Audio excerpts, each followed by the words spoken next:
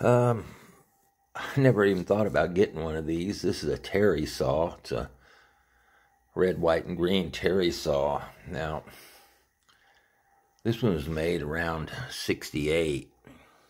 And you don't see these very often at all because I don't think, I didn't think they built these consistently until after, I want to say, I don't know, 74 75 in this color, but this is a Super XL AM automatic Oiler manual override. And you just don't see the AM, the, this color on these out of on a terry saw until later on, until the, gosh, I'm going to, say I thought it was in 74, 75 when they came out with this color, but they did build the AM in this color, but they just don't see many of them. This one needs a good amount of work, but it has the original Homelite bar on it. And it's one of the older bars that are serial numbered. I don't know if many people see notice that, but some of these old bars are serial numbered on Homelites. Uh, looks like I need a replacement on the um, clutch cover. Got one of those, but pretty pretty stoked to get this.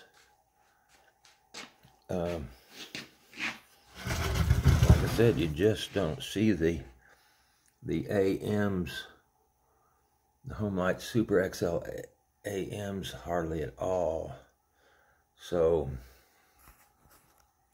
this will be another one for the collection. Of course, There'll be no way to get decals unless I can find another decal maker because our decal supplier, Joe, he, he doesn't have any of the decals. I don't know that anybody did have them after they quit making them. Is on the Terry saws, you can't even really find. Leon's got about the only parts manuals for Terry saws, and and the, if you look up the part numbers on Terry saws, you're not going to find anything. Uh, no one, no one lists those Terry saws part numbers. You have to cross-reference them to U.S. saws, I guess. Unless somebody else has a better idea. But yeah, the part numbers on a lot of the Terry saws, they don't do you much good. Um, but anyway, yeah, this will join my latest acquisitions, my 901 and my 904. And I got a 924 case coming. Oh, yeah.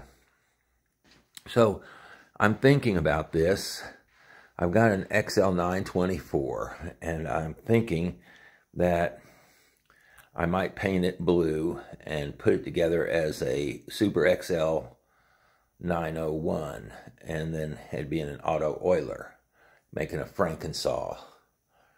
And uh, it, it making it I don't know whether I'll be 77 cc or 82 cc probably 77 but but instead of being a manual oiler, it'll be an auto oiler XL901 and uh, an XL901 AM, so to speak.